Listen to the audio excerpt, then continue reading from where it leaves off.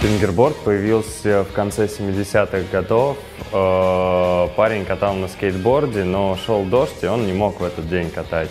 Но очень хотел. И он решил придумать маленькую копию скей скейтборда и назвал его фингерборд. На фингерборде за всю его историю никто пальцы не ломал.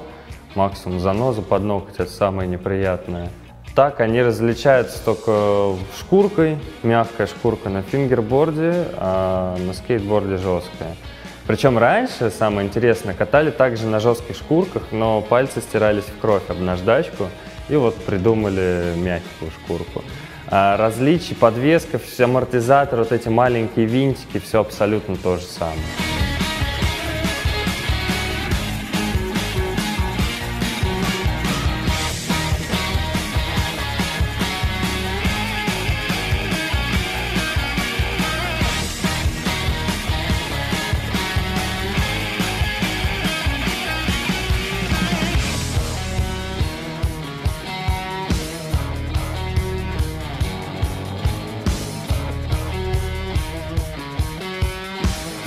Есть э, ребята, которые скейтборд не любят, вообще не любят экстремальные виды спорта, но занимаются фингербордингом.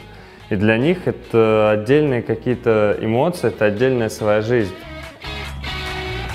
Ты делаешь что-то новое, ты видишь, как он вращается. То есть для тебя это какой-то свой вот такой вот мир. Я не знаю, там вот девчонки любят там рукоделием, да, каким-то заниматься, потому что им просто по душе. Вот здесь фингербординг это приблизительно то же самое.